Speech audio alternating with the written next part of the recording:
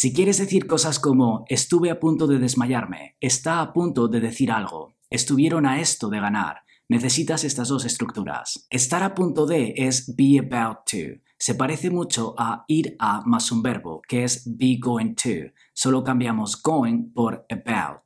El verbo to be lo tenemos que conjugar. Si lo queremos poner en el presente, necesitamos am, is, are, dependiendo del sujeto. Si lo queremos poner en el pasado, necesitamos was, were, dependiendo del sujeto. El verbo que vaya después tiene que ir en forma base, porque ese to que tenemos es el indicador de infinitivo. Lo vemos con ejemplos. Estoy a punto de marcharme. I'm about to leave. Está a punto de decir algo. She's about to say something.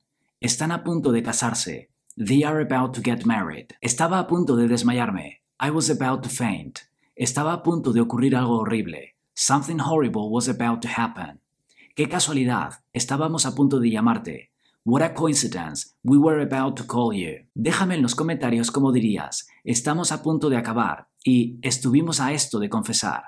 Ahora vemos cómo se usa esta estructura. Estar a esto de es be this close to.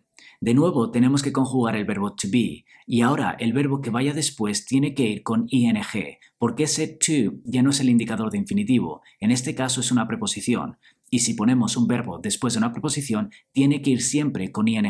Ejemplos, estoy a esto de dejar el trabajo. I'm this close to quitting my job. Estuvo a esto de delatarnos. He was this close to ratting us out.